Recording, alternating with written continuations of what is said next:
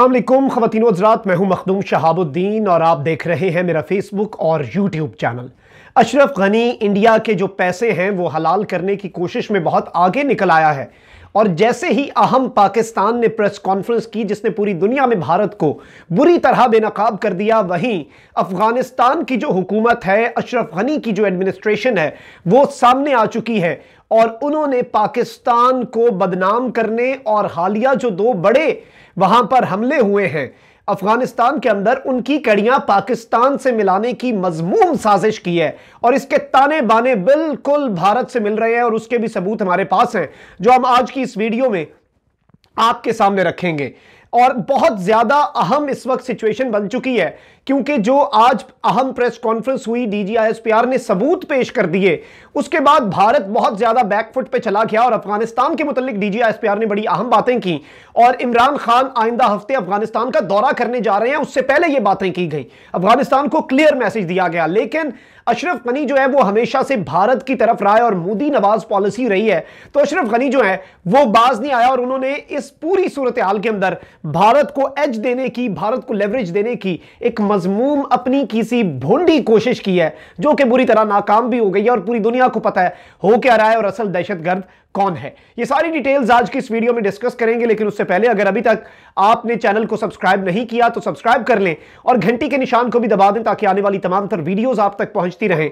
और इसी तरह मुकम्मल ईमानदारी के साथ हकाइक पर मबनी मुस्तनद खबरें मैं आप तक पहुंचाता रहूँ। खातिन हजरात आज जो डी जी ने प्रेस कॉन्फ्रेंस की है, ये बड़ी ही अहम और तारीखी प्रेस कॉन्फ्रेंस थी। और मैं जाती तौर पर अपने एनालिसिस अगर दूँ और कुछ डिफेंस एनालिस्ट हैं और कुछ इंटरनेशनल मीडिया की कवरेज को अगर हम एनालाइज करें और उसका तजिया करें। तो गुजशत चंद सालों में इस कदर मुफसल और इस कदर सबूत के साथ ऑडियो, वीडियो, डॉक्यूमेंट्स उनके अंदर तक घुस के उनकी मोदी की बनाई गई एक खुफिया कमेटी की पूरी हायरार्की प्रेजेंट कर दी। और यह सहरा जाता है पाकिस्तान की प्रीमियम इंटेलिजेंस एजेंसी आईएसआई को कि उनके घर के अंदर से घुस के उनकी तमाम तर बातें निकाल के आज पूरी दुनिया के सामने भारत को नंगा कर दिया है। और यह बताता है कि बेशक हमारा डिफेंस बजट कम होगा, बेशक हमारी फौज की तादाद आपसे कम होगी, बेशक आपकी आबादी हमसे छह गुना होगी, लेकिन हमारी जो एजेंसियाँ हैं, हमारे जो इदारे हैं, वो आपको सीधा करना भी जानते हैं और आपके अंदर से मालूम निकालना भी जानते हैं। इस पूरी प्रेस कॉन्फ्रेंस के बाद और इसके बाद होने वाला जो मोदी के मुखालिफ प्रोपेगेंडा है और मोदी की बेनकाब होने के बाद, अब ये जो नरेंद्र मोदी साहब हैं और ये आ चुके हैं बैकफुट पे। और बैकफुट पे किस तरह आए हैं? सबसे पहले इन्होंने बौखलाहट का ये शिकार है और इन्हें अब समझ नहीं आ रही ये क्या हो गया क्योंकि ये तो बाइडन के आने से पहले कश्मीर के अंदर, मकबूजा कश्मीर के अंदर इंसानी हकूक की खिलाफ वर्जियों से तवज्जो हटा के एलओसी की कशीदगी पर ला रहे थे। पाक फौज ने बड़े कमाल तरीके से पाक फौज ने बड़े कमाल तरीके से सही मौके का इंतज़ार करके कारी जरब लगाई। ये सारी इंफॉर्मेशन पड़ी थी हमारे पास। बड़े अरसे से इकट्ठी हो रही थी। और यही असल बात होती है। आपके पास पत्ते सारे होते हैं, लेकिन असल खिलाड़ी वो होता है जिसे पता हो कि ये पत्ता मैंने फेंकना कब है। और पाकिस्तान ने यह पत्ता आज सुबह 10 बजे ये प्रेस कॉन्फ्रेंस करके इसलिए फेंका क्योंकि हम रात का इंतज़ार भी कर रहे थे। रात की सिचुएशन भी देख रहे थे कि एलओसी पर रात के दौरान अब क्या होने वाला है। तो इस सूरत हाल के बाद भारत दो तरीके से बौखलाया है। एक तो पाकिस्तान के हाई कमिश्नर कोई नहीं है। पाकिस्तान के एम्बेसडर इंडिया में है ही नहीं। पाकिस्तान ने इंडिया के वापस भेजा और अपना भी वहाँ पर तयनात ही नहीं किया। अब वहाँ पर जारी बात है, पाकिस्तान का सिफारत खाना है, जो कि पाकिस्तानी जो है, जारी बात है, उनके वहाँ पे मसाइल होते हैं।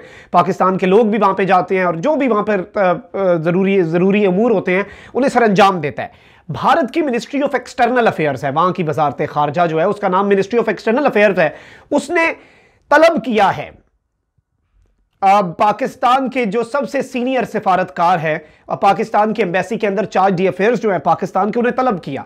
और एक मुंडी सी कोशिश की कि एलओसी की खिलाफ वर्जियों के ऊपर हम एहतजाज रिकॉर्ड करा रहे हैं। ये नरेंद्र मोदी कह रहे हैं। ये वो मुल्क कह रहा है जो Kornet ATGM anti tank guided missile use कर रहा है, जो टैंकों पे मारते हैं, वो आम लोगों के घरों पे मार के इनमें इतनी हिम्मत आ गई। लेकिन ये सिर्फ़ और सिर्फ़ अपना चेहरा बचाने की कोशिश कर रहे हैं फेस सेविंग चाह रहे हैं कि पूरी दुनिया में अब हम मजलूम कार्ड खेलना शुरू कर दें, क्योंकि पाकिस्तान ने तो इनके दहशतगर्दी का पूरा नेटवर्क बेनकाब कर दिया है। इन्होंने छोटा सा पाकिस्तान पर इल्ज़ाम लगाया और इन्होंने उसकी आड़ में एलओसी पे मसलूम और निहत्ते कश्मीरियों को शहीद किया। इन्होंने इल्ज़ाम लगाया कि कुछ दहशतगर्द हमारे अंदर दाखिल करने की कोशिश कर रहा था, भोंडा इल्ज़ाम।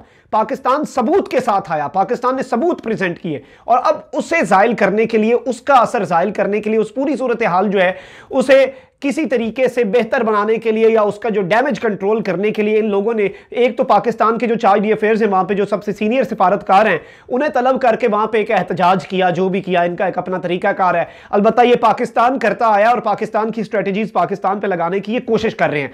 दूसरा सबसे घिनौना और सबसे खतरनाक खेल जो नरेंद्र मोदी ने खेला है, वो अशरफ गनी को इस्तेमाल करके। काबुल के अंदर आपको याद होगा, दो अभी बड़े अटैक हुए एक की खबर बहुत ज़्यादा वायरल हुई, दूसरे की खबर इंटरनेशनल मीडिया पे नहीं आई, लेकिन अफ़गानिस्तान में बहुत बड़ी खबर बनी। एक तो था जी, काबुल यूनिवर्सिटी का हमला। दूसरा था, कसवर एजुकेशन सेंटर का हमला। दोनों तालीमी इदारों पर हमले थे। इन हमलों के पीछे सबको पता है कौन है? इन हमलों के पीछे दाइश के कौन ऑपरेट करवा रहा है? इवन पिशावर के मदरसे के हमले के अंदर ये पूरा तीनों का ये जो एजुकेशनल इंस्टीट्यूट्स को निशाना बनाने की घटिया और जो गंदी आदत है, ये किसकी है? और कौन सा मुल्क है जो इंसानियत की तजलील करता है इस तरह दहशत गर्दों से ये कार्रवाइयाँ करवा के?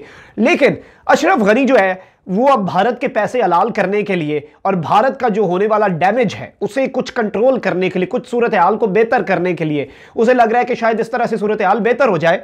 तो अशरफ गनी ने एक बड़ा ही गंदा खेल खेला है। और ये खेल इसके बाद मैं आपको ये भी बताऊँगा कि इमरान खान का दौरा इस पे, इससे किस तरह अफेक्ट होने जा रहा है और किस तरह अब इन्हें, इनकी ज़ुबान में मैसेज दिया जाएगा और इनकी ज़ुबान में पैगाम दिया जाएगा।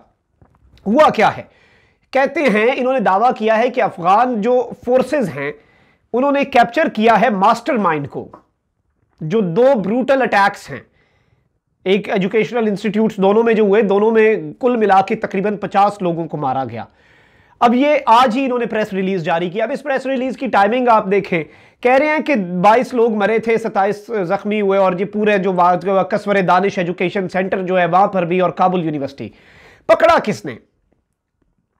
अफ़गानिस्तान की इंटेलिजेंस एजेंसी है National Directorate of Security NDS NDS और रॉक एंड एक्सेस हम बड़ी दफ़ा आपको बता चुके हैं और इनका एक्सपोज हम करते आए हैं।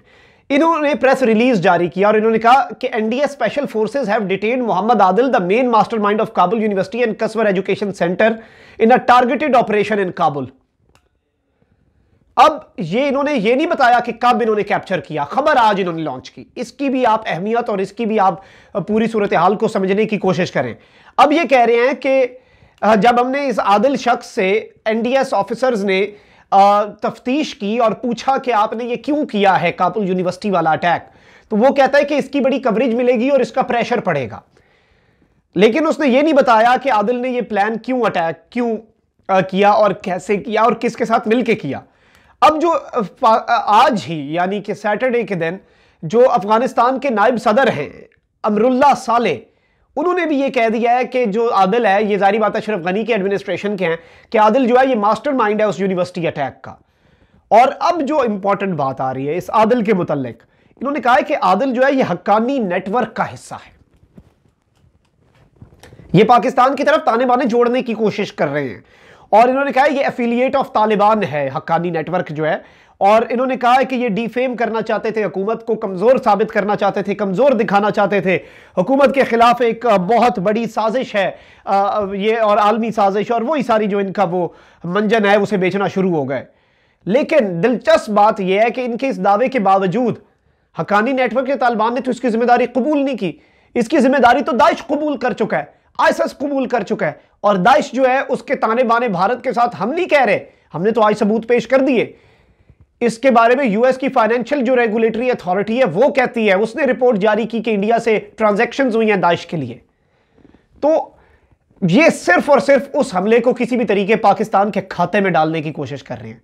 और इसका अब नुकसान इन्हें खुद होगा, क्योंकि पाकिस्तान ने अगर इंटेलिजेंस इंफॉर्मेशन दे दिया और बता दिया कि अफ़गानिस्तान में कहाँ कहाँ पे, कंधार में कहाँ कहाँ पे टेररिस्ट कैंप बना के ये हमारे खिलाफ दहशतगर्दों को भारत तैयार करता है और ट्रेन करता है तो हमें कार्रवाइयाँ करनी भी आती हैं। हम अफ़गानिस्तान के अंदर बड़ी कार्रवाइयाँ पहले भी हमारे अफवाज और हमारी सीक्रेट एजेंसीज कर चुकी हैं, अब भी कर लेंगे। लेकिन ये इनकी खाम ख्याली है। और ये करना क्या चाहते हैं? यही अशरफ गनी था जब जो बाइडन, ये जो बाइडन को इंप्रेस करना चाहते हैं और पाकिस्तान के खिलाफ करना चाहते हैं। लेकिन इस जो अशरफ गनी एक बात भूल गया है। जो बाइडन जब नायब सदर था तो अशरफ गनी ने बड़ी शिकायतें लगाई और ये वाक्य इंटरनेशनल मीडिया पर अवेलेबल है, ये डिस्कशन और ये बड़ा मशहूर हुआ उस वक्त। और इन्हें आज भी ये याद रखना चाहिए, अशरफ गनी को भी और नरेंद्र मोदी को भी ये बात याद रखनी चाहिए। अशरफ गनी ने जब पाकिस्तान की शिकायतें की तो जो बाइडन ने यह कहा कि mister president, Pakistan is fifty times more important than you. Pakistan आपसे पचास गुना ज़्यादा हमारे लिए आम है अशरफ गनी को शटअप कॉल दी थी। और इंशाल्लाह आगे भी अभी वज़ीर आज़म इमरान खान का जो दौरा आने वाला है, अफ़गानिस्तान का, उसमें इन्हें बाकायदा पैगाम दिया जाएगा और उससे पहले ये सब कुछ एक्सपोज करने का मतलब भी यही था कि इन्हें पहले से पता हो कि पाकिस्तान को सब पता है। और इंशाल्लाह आने वाले दिनों में आप देखेंगे कि मजीद इनका नेटवर्क बेनकाब होता जाएगा। मखदूम शाह को इजाज़त दीजिए, अपना बहुत ख्याल रखिएगा। अपने इर्द गिर्द लोगों का भी बहुत ख्याल रखिएगा और अल्लाह ताला की ये नेमत पाकिस्तान है हमारे पास। इसका आपने बहुत ख्याल रखना है क्योंकि पाकिस्तान है तो हम हैं। अल्लाह निगेबान पाकिस्तान जिंदाबाद।